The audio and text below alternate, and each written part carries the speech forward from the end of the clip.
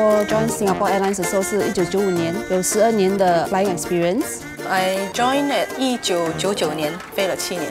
那我加入新航是在二零零二年，然后飞了十二年。空中小姐耶！其实我从来没有想过要 对啊，我也是没有想过。我是因为陪朋友去，怎么知道他没有进我就进了？我跟他的故事一样，是一个好的尝试，到现在也没有后悔。因为你见到很多不同的人，不同阶层的人，然后你也学到不同的东西。outside 的不大清楚的，然后我们最清楚的，我就觉得是洗厕所。我是这样觉得啦，因为每个人都觉得，呃，新航空姐这么 high class 的一个职位，然后你可能去洗厕所，可是他们错了，他们每进一次厕所，清理的就是我们空姐还是空少。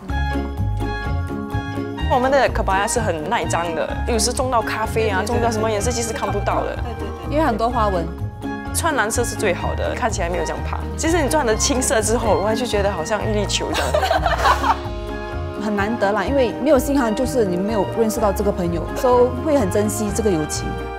读万卷书不如行万里路。没有做这份工，你怎么可能去到这么多国家？有机会我还要回去，因为能看世界真的是一大享受啊。你遇到可以 click 的人就很好玩啊，就是好像一般朋友出国。嗯，会怀念，怀念，嗯，会怀念。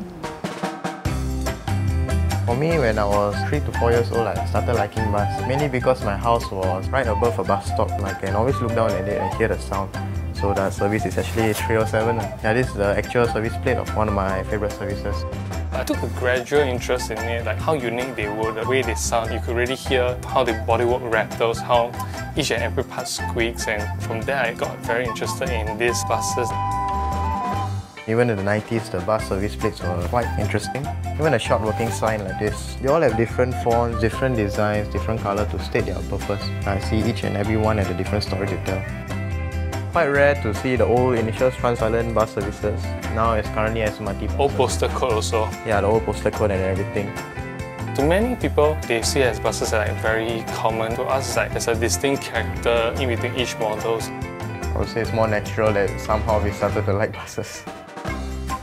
We are bus enthusiasts, yeah!